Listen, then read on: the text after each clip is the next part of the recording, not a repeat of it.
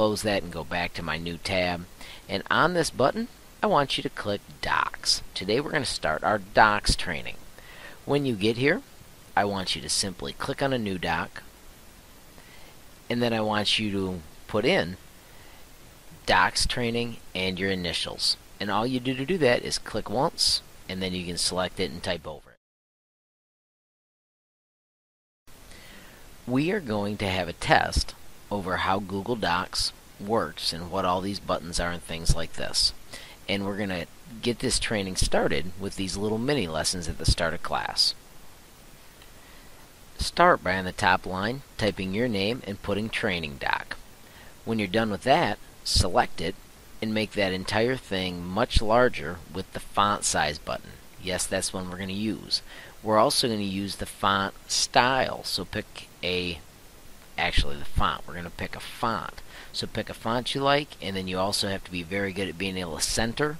And then I would also like you to be great at painting the text colors. So I'd like you to make one whichever color you want.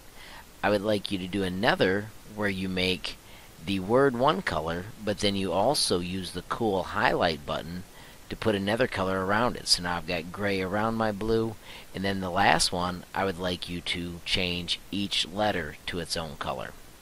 So we're practicing selecting and we're practicing changing colors to make something on our screen nice. For the next part, we're going to do the styles. Type this is normal text and then on your normal text style, when you click it, look at it, gets rid of all the pretty colorful stuff and does that. Select that and do control. So hold the control and tap the letter C as in cat. Press enter and in control V as in victory to paste it.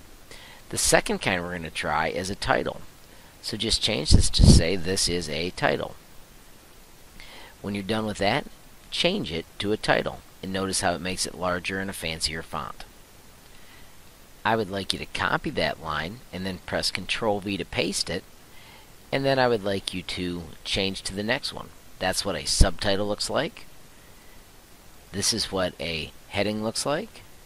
And then let's test. This is heading 3. So it lets you three see four different styles of text. I'm not worried about you labeling which one is which.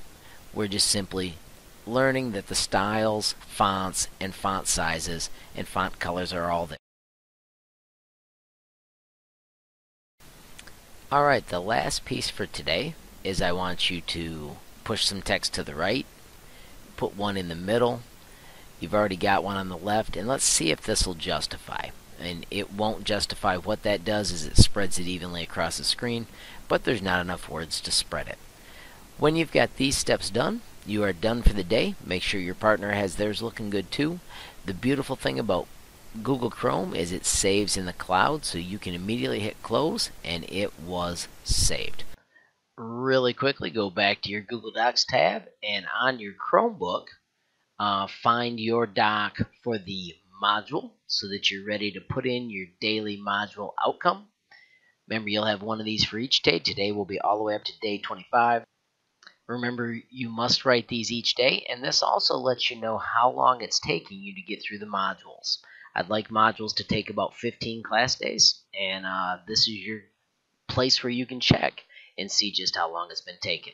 So, get to work in your modules, make sure when you learn something cool you edit there, and let's have a great day in modular technology.